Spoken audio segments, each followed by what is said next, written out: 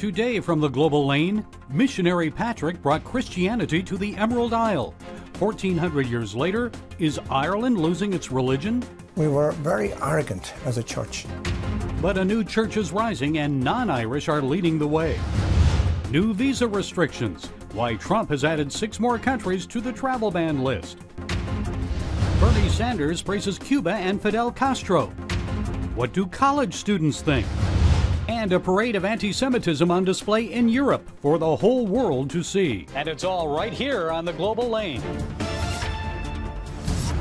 Ireland was once a nation where almost everyone went to church.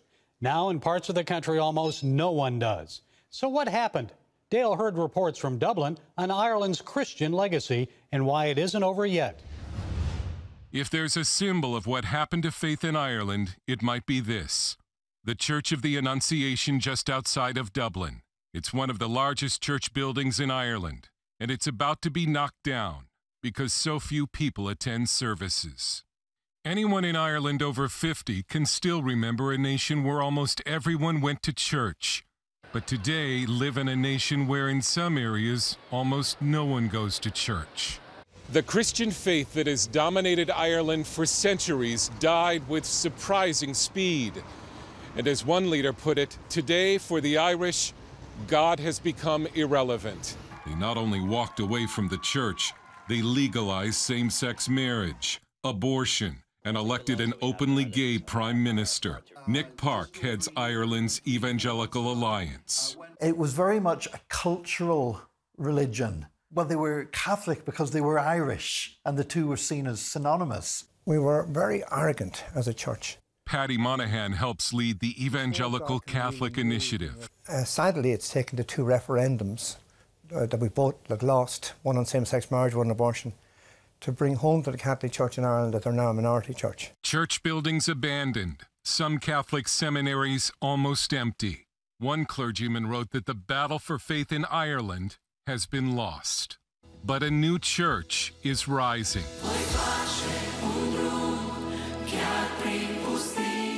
This is the largest church in Ireland, and it is Romanian Pentecostal. The worshippers at Betania or Bethany Church came to Ireland to find work, but now realize they were sent to Ireland as missionaries. Betania Church is exploding. It's building a new $5.5 million facility on faith, one that will accommodate 1,500 worshippers. I met two of its pastors at the construction site. We're praying for this country, we're fasting for this country, and I think God has a plan with us to be a blessing for this country and more people to know God and to be saved in this country. Because God loves Ireland. Now we realized God has a greater plan, a bigger purpose for our lives to deliver His message and His kingdom works for this country. In fact, the second largest church in Ireland is also Romanian Pentecostal. Betania pastor Georgia remembers when nations like Ireland sent Bibles to communist Romania. And those Bibles are coming back now. African churches are also growing. The Nigerian Redeemed Christian Church of God has grown to more than 100 churches in Ireland with several thousand members. And even though most Irish have rejected the institutional church, Polls show many still believe the core of the gospel. Among Irish youth, uh, I think it's something like 70% of them said they really believed Jesus rose from the dead. They really believed in heaven and hell. They really believed that Jesus was the incarnate Son of God. So you've still got these very high rates of belief in the facts of the gospel. When we were choked by religion uh, and institutionalism, there wasn't much life. But now that we have those institutions crumbling, I think that we're in the land of opportunity. Monaghan says the Spirit is moving in some Catholic churches as well. Do know there's there's a spiritual awakening happening in this country, and some parish priests are really becoming born again, filled with the Holy Spirit, and getting a vision for what's possible. There's that spiritual heritage within this nation that I believe the enemy, Satan, wants to destroy, but there's I, I believe it's going to happen again. Ireland, once a mission field, then a base for missions, has become a mission field again. Dale Hurd joins us now via Skype with more. Dale, how did Ireland leave the faith so quickly? Well, you know, they did studies uh, back when Ireland was very religious, and it showed that uh, the faith wasn't very deep. Ireland is about, you know, the Irish are about relationship and community, and I think the Catholic Church was a part of that. And then when these scandals just rocked the nation, terrible scandals involving children, you know, there was nothing to hold the Irish there. They were they were through. Many debate whether Europe is really post-Christian because we're seeing great moves of God in many places. Is it post-Christian? Boy, you get a get a room of uh, Christian leaders from Europe together, and that'll start a fight. Um, there, there are great things are happening, as you say, but the culture has been lost. I mean, we're talking about nations that were completely Christian, more or less, and and now in many cases, almost no one goes to church, and so you know, while God is moving, they've lost the culture. We have instances in nations like Britain that are in, officially Christian persecuting Christians. And it's the only group that they pick on are Christians, and they're a Christian nation. And we have this all across Europe the story of the Finnish member of parliament who faces prison for simply tweeting verses from Romans condemning homosexuality. Do you think this is going to get worse, Dale? What's the future of Christianity in Europe? I think persecution will get worse. There's nothing to keep Europe from persecuting Christians because it's unmoored from standards, you know, traditional standards of law. It's it's whatever you know makes it feel better. It does, and right now it sees Christianity as oppressive. But I believe in the Great Commission. I believe in the irrevocable calls of God on Europe and on many of these nations. And Europeans are empty spiritually. And so there is the there's the turf there for a, a major mass revival, and many are praying for it.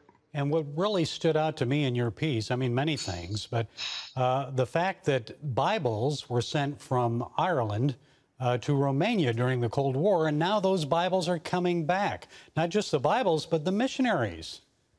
Yeah, and and I'll be doing a story about this in, the coming weeks on the 700 Club uh, next week, as a matter of fact. It, it's called the Great Reflex, and this was the prayer of early missionaries like William Carey and David Livingstone, that the people of Africa and Asia from these mission fields would one day carry the gospel back to Europe. Well, it seems like now's the time and now's the day. Dale, yeah. another excellent report. Thank you for joining us today. Thank you, Gary. And you can learn more about the origins of Ireland's Christian legacy just in time for St. Patrick's Day. CBN's film I Am Patrick hits the big screen for a two night Fathom event March 17th and 18th. Tickets are on sale right now. To see one man's journey from slave to saint, go to IamPatrick.com. Come home to the sounds of Southern Gospel from CBN Radio. You'll enjoy a rich Southern blend of bluegrass, classic gospel, and Southern gospel favorites like the Gaithers, the Crabb Family, and bluegrass sounds like Mountain Faith. So make yourself at home with the all new CBN Southern Gospel. Now available at CBNRadio.com.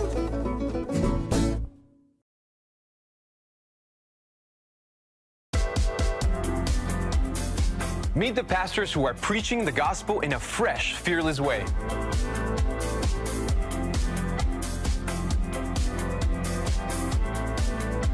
I'm Roberto Torres Cedillo. Join me each week for Next Gen Voices.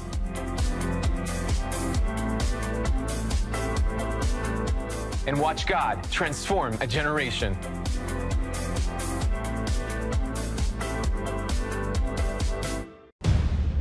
Prophecy thousands of years old. We were called to be a light to the world. Being fulfilled today.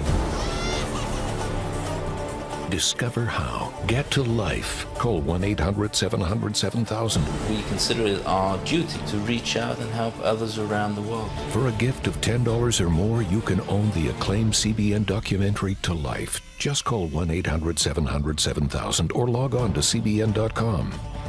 To treat a human no matter what he is, which religious he have, which color he is. This is what I'm doing. See how the people of Israel are fulfilling prophecy. History is being written, and I want to be a part of it. By sharing their knowledge. In Africa, in Asia, in South America, in East Europe. And their love. This is how we work. This is us. Get to life. Call 1 800 700 7000 or log on to CBN.com. Trump administration has just imposed new U.S. immigration restrictions on an additional six countries. Restrictions are now in place for visa applicants in Nigeria, Tanzania, Eritrea, Sudan, Kyrgyzstan, and Myanmar. That's also known as Burma. Up until now, travel bans were limited to people from Iran, Libya, Somalia, Syria, Yemen, North Korea, and Venezuela. In June 2018, the U.S. Supreme Court ruled that the president does have the authority to do that, to impose immigration restrictions based on national security concerns. We'll hear with more from Beirut, Lebanon, is U.S. diplomat George Farag. Dr. Farag served as a consular officer at several high risk U.S. embassies. He's author of the new book, Pro American Immigration Common Ground in Our Immigration Strategy. Dr. Farag, good to have you with us all the way from Beirut. So, why did the president add more countries to the so called travel ban list? Well, Gary, it depends on who you talk to. Uh, when you listen to the, the mainstream media, it's uh, it's it's simply a matter of racism, uh, bigotry, and separating families. But I don't believe that. In my mind, uh, the travel ban is is a tool used by the United States government and other governments as a as for di- for diplomatic purposes in order to push political objectives. Let's look at Syria, for example. Syria has been ravaged by years of civil war and, um, and, and, and different, different terrorist groups. We find that the security posture in Syria does not allow for the Syrians and the, and the Americans to have an exchange for security or uh, information purposes. So it makes sense that there would be a full travel ban in Syria. If we look at Iran, the situation is a little bit different the, the, the relationship has also been quite shaky for the past 40 years. We've used different diplomatic tools such as sanctions, military strikes, but at the same time, the president has constantly left the door open for a new Iran deal. And I think it's not a coincidence that the door is open for students to get visas to come to the US. The last example is in Nigeria. Nigeria is an ally of the United States. Uh, it's one of our major trading partners. But we also have uh, an issue in Nigeria, which is Boko Haram, another terrorist group. There is a travel ban in Nigeria, but it's only for immigrant visas. George, I've done a lot of international traveling over the past 25 years. I've often heard from Christians in places like Egypt, Pakistan, Syria, Iraq that they have faced discrimination in the visa application process, that Muslims in those countries have been treated much more favorably over the years in gaining approval to enter the U.S. So is that policy changing? Gary, I cannot say it's a policy. As a former consular officer, I can I can tell you that uh, the American consular officer does not discriminate based on religion. Uh, so while folks may feel that way, uh, the reality in terms of the actual decision-making process by consular officers at embassies is we we make decisions on cases based on the merit of the case, not based on the religion of the um, of the applicant. Now, while President Trump promised to increase the number of Christian refugees allowed into the United States, a Cato Institute study found Christian refugee admissions during President Trump's first two years actually dropped 50% lower than during President Obama's presidency. I guess Muslim admissions also been down under Trump by about 72%. But why are we not allowing more persecuted Christians into the United States? Well, I think it's uh, it's more a matter of the um, the the workload at the embassies. So it's uh, again, I don't want to say it's Christian versus Muslim, but rather, you know, qualified applicants versus unqualified applicants. I've talked to a number of national security and immigration uh, experts on this show who have said potential Middle East terrorists have entered into our country illegally on the U.S. southern border with Mexico. So, what should we do about that, George? I think this is one of the priorities of this administration, which is to secure the borders, and uh, and a lot is being done on that front we need to continue uh, with the vetting process. We need to continue with various forms of border security. I think that uh, we're moving in a good direction, but certainly I think this administration would agree that uh, we need to do as much as we can to make sure that the folks who are entering the United States are friendly to the United States, but in addition to that, qualified to enter the United States.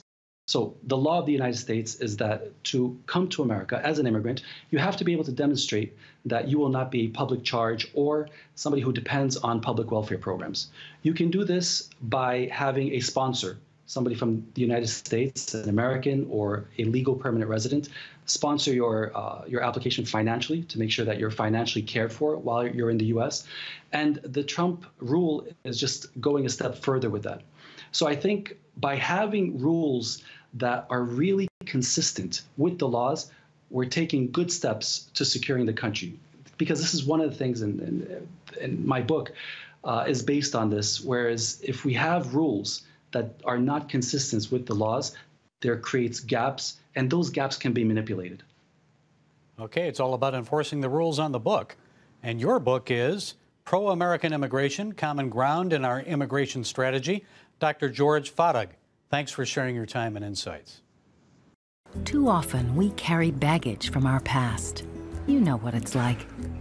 It affects everything and everyone in our lives. It's always there, weighing us down and keeping us from achieving true happiness. But do you know God never meant for us to be trapped in the past? You can be free of your baggage. Learn how God's forgiveness leads to changed lives and new beginnings. Call the 700 Club. I'm Efrem Graham, and this is Studio 5. Cruise with me as I discover the good things happening in the world of music, sports, television, and movies. The fact that Ryan Coogler was going to be directing the film, I knew that something special was going to happen. We'll chat with artists at the forefront of entertainment and explore the connection between popular culture and faith. I asked my pastor, I said, Well, does that mean I'm supposed to be a preacher? He says, Well, no, you already have a pulpit. Watch Studio 5 Wednesday night at 9:30. Tikkun Olam. This is our nature as a country. To make the world a better place. Literally, we felt the earth shaking. The Christian Broadcasting Network presents To Life how Israeli volunteers are changing the world. This film needs to be seen by everyone. I was in tears. Now you can own the inspiring documentary To Life on DVD. There is blood on our hands if we know and we walk away. I'm so grateful that this film was made. To Life can be yours for a gift of $10 or more. Call 1 800 700 7000 or log on to CBN.com. We know that every minute counts to save life. It'll uh, bless Israel, but it'll also bless all the friends of Israel. Discover the untold story of how Israeli volunteers are making the world a better place. Call 1 800 700 7000 or log on to CBN.com to get your copy today. Democratic presidential candidate socialist Bernie Sanders is on a roll. If he wins the majority of the Super Tuesday states March 3rd, he'll be on course to win the party's nomination. The Democratic Party establishment is in a tizzy. How could this happen? A socialist? Well, our college age voters, those attracted by promises of free college tuition, health care for all, and a higher minimum wage, giving Sanders the election edge, well, here to set us straight is Eduardo Neret, digital reporter for Campus Reform. Eduardo, it's good to see you again. So I know you talked to some college students about comments that Bernie Sanders made to 60 Minutes recently about Fidel Castro. So where were you? And explain what you said to the students. I went to the University of Maryland because I wanted to see if students had seen what Bernie said. But the interesting thing is, I didn't tell them that he said it. So I presented students with his quotes from 60 Minutes and I said, Which politician do you think said this? Here's what they said Which politician do you think made this remark? I'm going to make the assumption that it was Trump. Um, Trump? I'm just gonna go with Trump. Sounds like something he would do. I mean, that just sounds like uh, something that came from Trump himself. I wouldn't expect a Democratic candidate to say something like this. Um, so if I had to guess, it would be a Republican candidate. So I'm just going to guess Trump. Eduardo, they just don't seem to understand that Cuba is a communist dictatorship supported by many liberals and leftists, and it's praised by many college professors. But still, I'm assuming that most college students don't really support socialism once they dig a little deeper and discover what's it's really about during the time of the Soviet Union or today in Venezuela, correct? That is certainly one of the takeaways from this video. So a lot of students, as we've reported on here at the Leadership Institute's campus reform, across the country have, have embraced socialism, had said they favor socialism. Bernie Sanders does very well with young college students. But when I told them, and when you tell a lot of these students what socialism really is, how destructive it really is. So when I said, you know, these comments that Bernie made about Cuba, this is an oppressive regime that has has killed people, oppressed people, they sort of take a step back and they're a little bit shocked that, that that's what socialism is. So I think it's it's very interesting to see how they think they support the policies of socialism, but when presented with the evils and the facts behind it, they're not as quick to embrace it, which I think is a very important thing that a lot of your viewers and, and the rest of the country need to know that if we want to prevent socialism on campuses, it's important to talk to students, to talk to people out there about what it really is. So are they voting for Bernie regardless because he's promising them lots of free stuff? You know, there is a large section of the student population across the country that is supporting Bernie Sanders. A lot of it is because of, like you said, free stuff. So I talk to students uh, across the country, and a lot of the times they tell me they like Bernie Sanders' free college uh, loan program of debt forgiveness. They talk about free Medicare for all. I, I often point out to them, I say, you know, you're going to have to pay for this. Your taxes are going to go up. Your friends and family's taxes are going to go up. And, and that's another example of where they step back and they say, you know, I, am not sure if they support that. What I also want to point out is in this video, you, you see that a lot of students want to be moderate. There, there is a moderate lane here among young students on campus. Again, they don't necessarily know what Bernie Sanders socialism is. But when you point it out to them, they, they told me in the video, you know, he is too socialist for me. He is too extreme. So I think there is an opportunity here for Republican or Democratic candidates candidates to come in, explain what socialism really is. And I think there are a lot of students on campus who who are moderate and who will listen to someone who presents them with the facts of what uh, socialism can cause. Now, beyond Bernie, I was surprised to discover that many college students actually credit Barack Obama for the economic successes we're enjoying under President Trump. Tell us what you found out about that.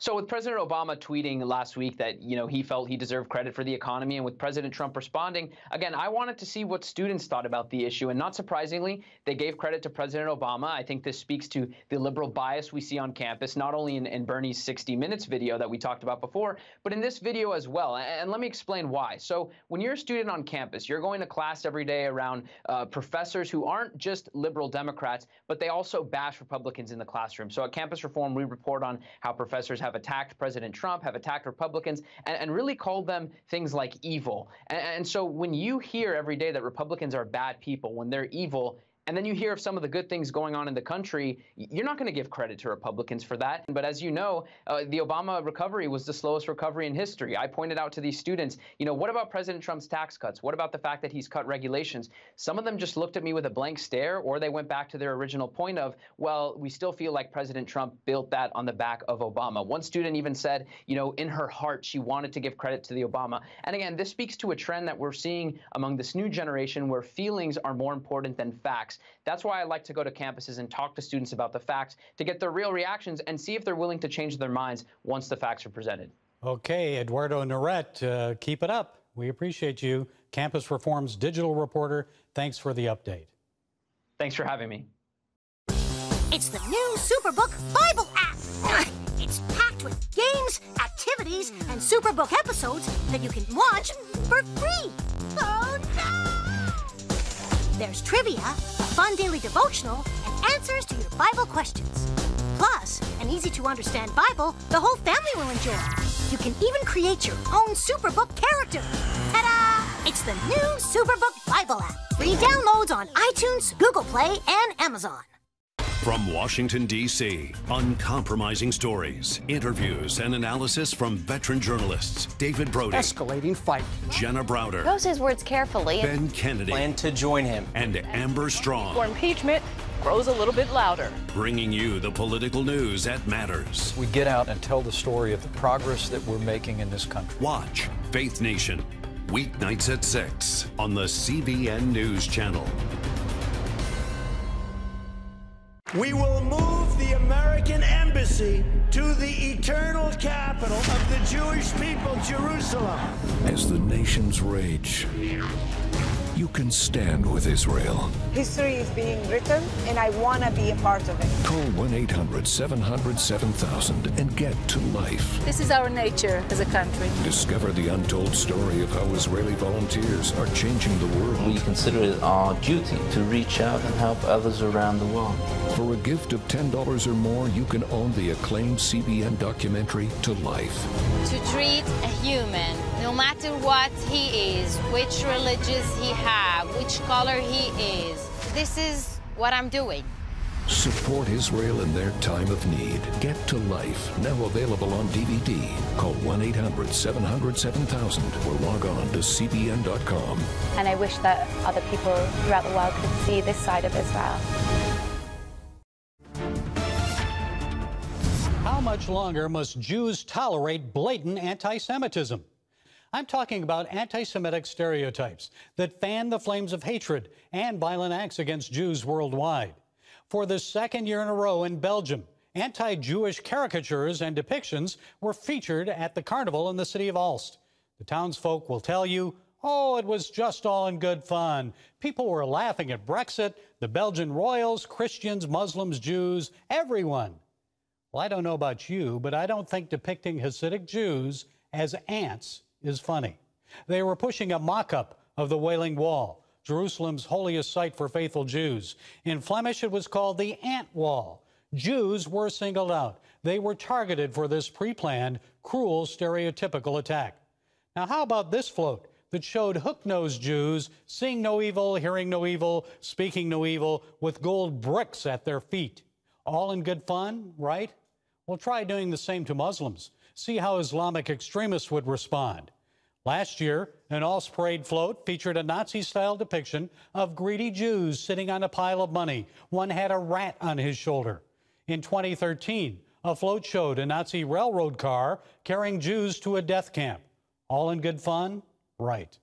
The blatant anti Semitism caused UNESCO to remove the Aalst Carnival from the UN's cultural heritage list. This is what a UNESCO spokeswoman said after that decision last year.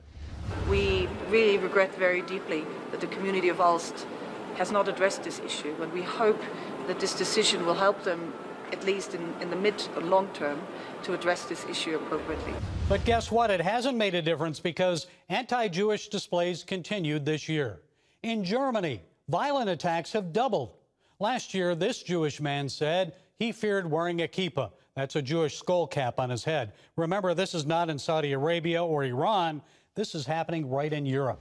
And me myself, I wouldn't wear a kippah. It's, unfortunately, it's not safe. Maybe I hope that it will be safe in future, or maybe it was safe in the past, but right now, in 2019, no, it is not safe at all. Are we reverting back to the 1930s, just 75 years after Auschwitz? Folks, this anti Semitism needs to end, and Christians must speak up. We cannot remain silent. Let's remember the words of the late Lutheran pastor Martin Niemöller, who in 1946 said succinctly, First, they came for the socialists, and I did not speak out because I was not a socialist. Then they came for the trade unionists, and I did not speak out because I was not a trade unionist. Then they came for the Jews, and I did not speak out because I was not a Jew. Then they came for me, and there was no one left to speak for me. Well, that's it today from the Global Lane. Be sure to follow us on YouTube, SoundCloud, iTunes, Facebook, and Twitter. And until next time, be blessed.